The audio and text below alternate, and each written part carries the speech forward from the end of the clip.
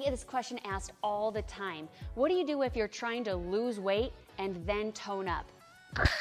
Do not lose weight and then try to put yourself in a calorie deficit and start losing that muscle because that's just slowing down your metabolism and it's making it harder to reach your goals. So, the best way to prevent that is by strength training and building up that muscle. So, you want to focus on toning, and then that's what helps you lose the weight. It makes it so much easier to do it together. It's time to have your body work for you rather than against you the six inches that I've lost off my waist are amazing. Really changing my mindset and being able to approach life from a different and better and more positive and healthier perspective.